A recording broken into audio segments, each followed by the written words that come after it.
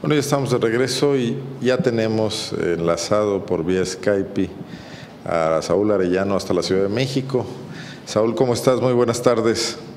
Muy buenas tardes, querido Arnoldo, ¿cómo estás tú? Bien, bien, bien, y te escuchamos perfecto, Saúl, creo que mejor que por teléfono. Hoy se presentó hace un par de semanas la encuesta de victimización y percepción de inseguridad del INEGI con datos interesantes a nivel nacional y desagregados por estado que todavía amplían mucho el panorama de cómo están las cosas, Saúl. Y como tú, experto en este tema, eh, le has encontrado aún más, más eh, riqueza para el análisis a esta encuesta, pues recurrimos a ti. Bueno, en primer lugar lo que hay que destacar, Arnoldo, es que el INEGI en esta ocasión desagregó la información sí por entidades, pero también para las principales que hay en cada una de las entidades. En el caso de Guanajuato, evidentemente la zona metropolitana más relevante es la de León. Y lo que se encuentra son datos realmente muy preocupantes. Tú recordarás que hace dos años yo tuve un debate allí en el Estado justamente porque sostenía yo que la prevalencia delictiva y la incidencia delictiva en León estaban creciendo de una manera muy acelerada. Pues ahora los datos del INEGI confirman que los datos que ya se estaban prefigurando en aquella época, pues no solamente eran sólidos, sino que además eran crecientes, ¿no? Eh, Fíjate nada más, por ejemplo, eh, lo que destaca es que Guanajuato es una entidad con una tasa de prevalencia del delito. ¿Qué significa eso de la prevalencia? Significa que se comete un determinado número de delitos por cada 100.000 habitantes. Es básicamente igual que casi todas las tasas en relación con un grupo de población. Bueno, para el estado de Guanajuato la tasa está más o menos en el promedio nacional, pero cuando lo desagregas tú para lo que es la zona metropolitana de León, lo que te encuentras es que León tiene por zona metropolitana la tasa de incidencia delictiva, la segunda tasa de, de incidencia delictiva más alta del país. Estamos hablando de que a nivel nacional la tasa de, prevalencia de los delitos es de 28.200 casos por cada 100.000 habitantes, es decir, el 28.2% de la población, que ya es muy altísimo, ha sido víctima de algún acto de delictivo, al menos eso es lo que declaran las personas, no todos los delitos son graves, algunos son por ejemplo el robo sin violencia, otros casos son robo de autopartes, que casi siempre se dan también sin violencia, pero estamos hablando de una incidencia, perdón, de una prevalencia muy alta, 28.200 casos a nivel nacional por cada 100.000 personas. Cuando uno ya se va al estado de Guanajuato, lo que se encuentra es que la tasa es de 31.659 casos por cada 100.000 habitantes.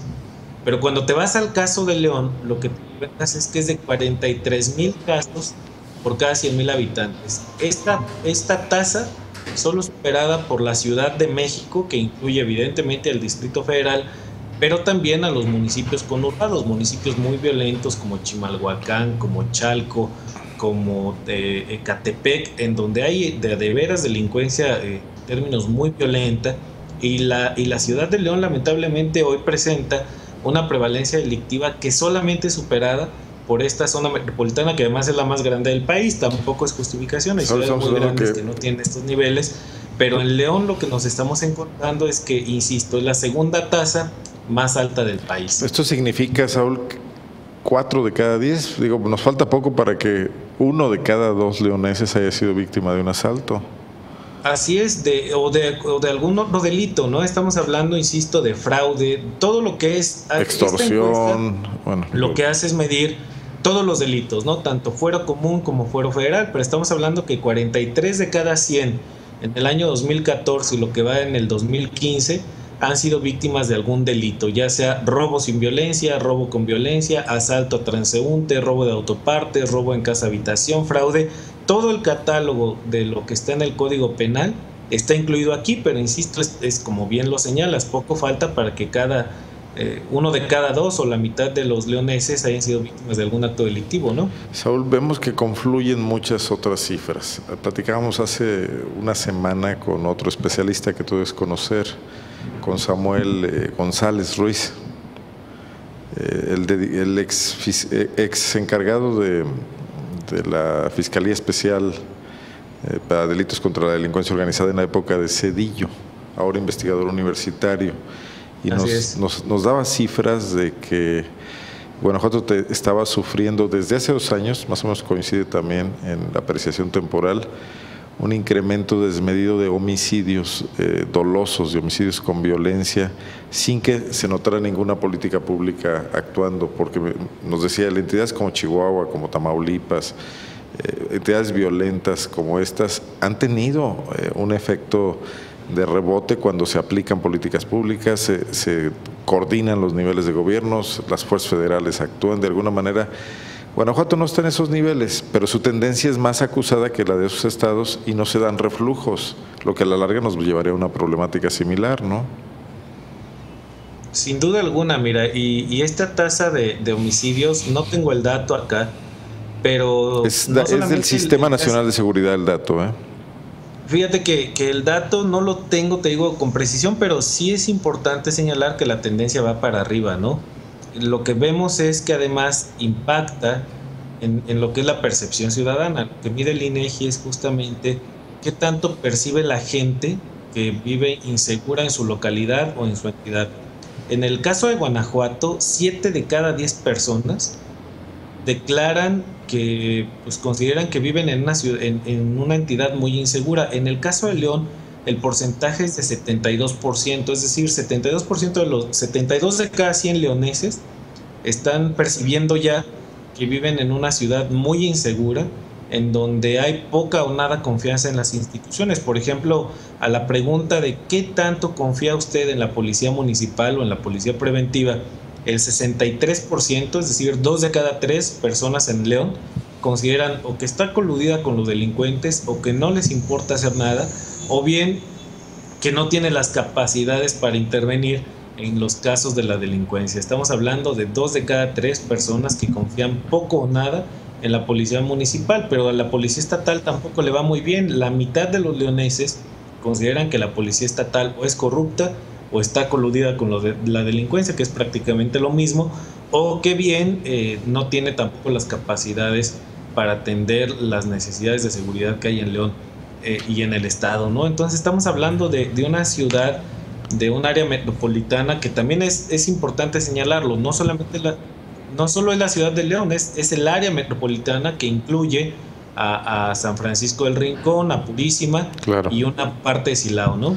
Oye, y la autoridad ante esto, bueno, pues hemos escuchado sus declaraciones, el gobernador Márquez el otro día decía que es cultural la Perdón, Arnoldo, ahí ya te perdí, ya no te escuché que vemos la respuesta de las autoridades y bueno, ya aceptaron, el gobernador Márquez ya aceptó que las cifras están cambiando frente al optimismo que, del que siempre hacía gala. Pero ahora nos salió con la peregrina explicación de que Guanajuato tiene una cultura de violencia, que en las fiestas patronales la gente termina siempre a los balazos y que bueno, pues que ese es un tema cultural. Ya sabes que a los políticos se les dan las salidas en todos, en todos en todo tipo de problemas, ¿no? Sin duda, y, me parece una, una, respuesta completamente inadecuada, carente de toda pertinencia, tanto teórica como de política pública, porque no puedes achacar que la violencia crece de, de, por un asunto cultural, porque si somos estrictos en el análisis, establecer una correlación entre la cultura y la violencia, o una cultura de la violencia y la incidencia delictiva, pues implicaría que estamos creciendo en cultura delictiva. Es decir, si fuese lo que dice el gobernador, pues los datos, en tanto que es un asunto cultural, pues vendría de antaño, ¿no? Estaríamos hablando cuando menos de décadas. La cuestión no se puede explicar simplemente así. La, la realidad es que las políticas de prevención han fallado, las políticas de participación ciudadana.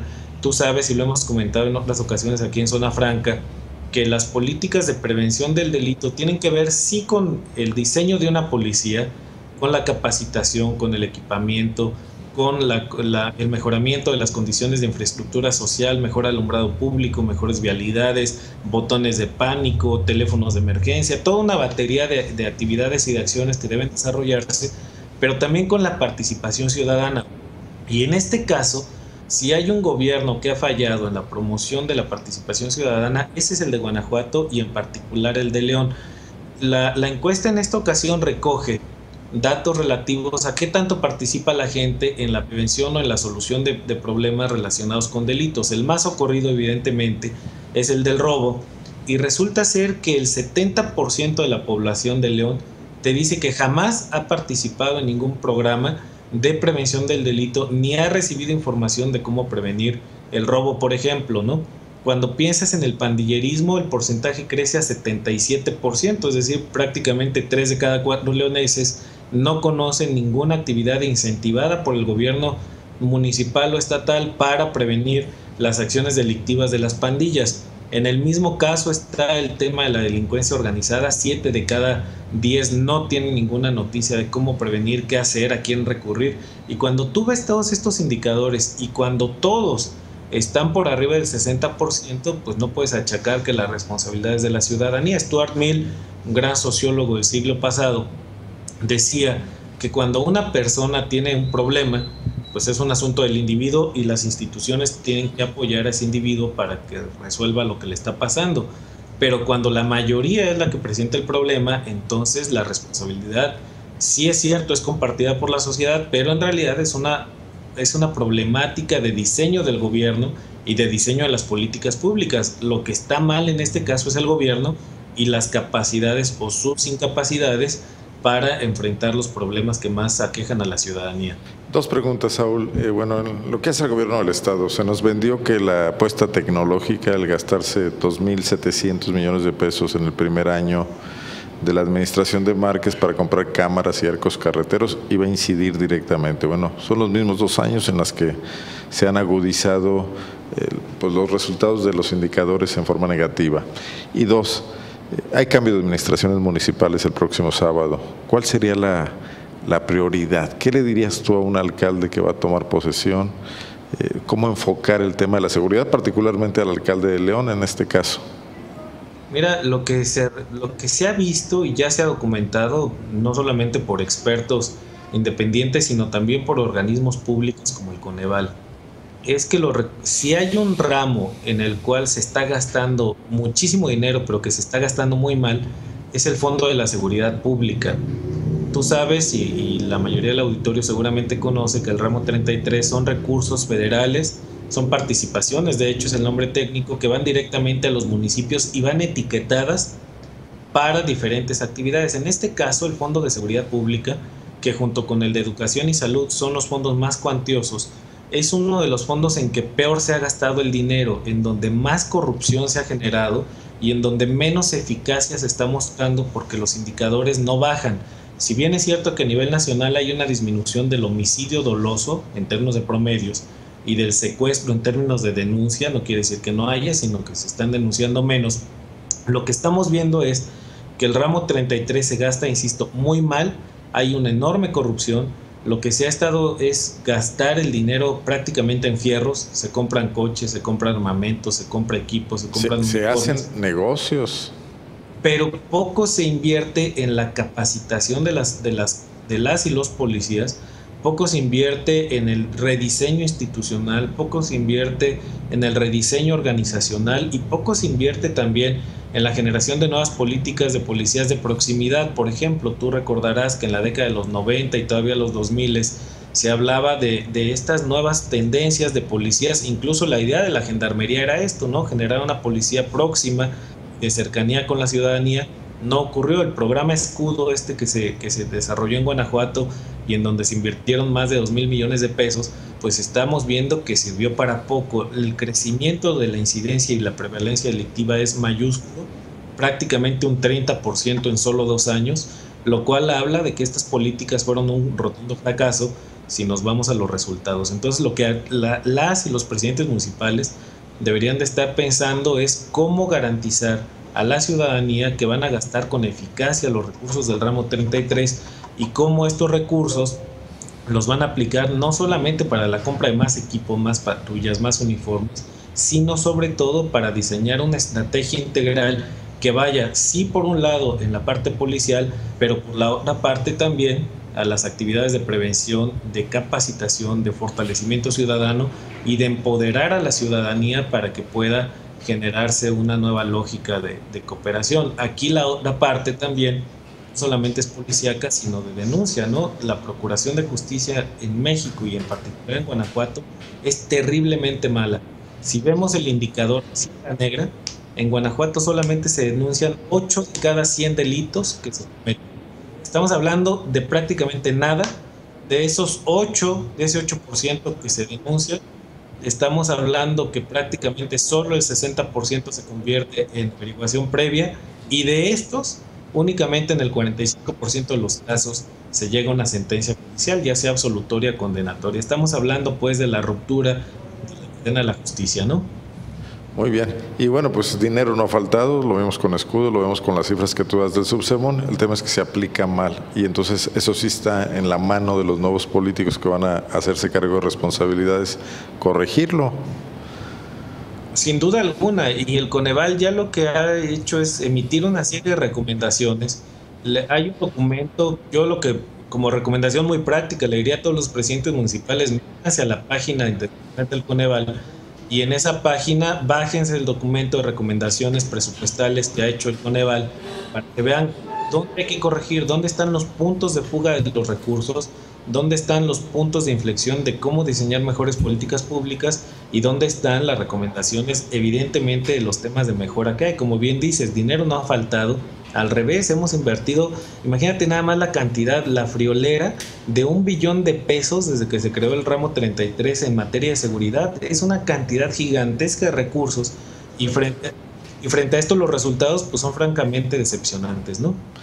Saúl, muchas gracias por, tu eh, amplia explicación, por además darnos este tiempo desde la Ciudad de México, ahí desde tu cubículo. ¿Estás en, en las instalaciones de tu revista o estás en la UNAM? Estamos aquí en México Social, querido Arnoldo. la gente puede revisar, tenemos mucha información de esto, www.mexicosocial.org y ahí, bueno, podemos seguir dialogando vía las redes sociales, ¿no? Tu artículo, además, el día de hoy en el Excelsior aborda también este punto. Así es, tenemos una colaboración semanal todos los martes en el Excelsior y mi colaboración que tú tienes la generosidad de publicarla los jueves, ¿no? Por ahí podemos seguirle. Mil gracias como siempre por el espacio. Gracias, Saúl. Un abrazo. Luego ya platicaremos de lo que está pasando en la UNAM, que también se está poniendo interesante con la elección de nuevo rector. Guanajuato tiene candidato, como ya sabes. Bueno, ya no me escuchó Saúl Arellano. Vamos a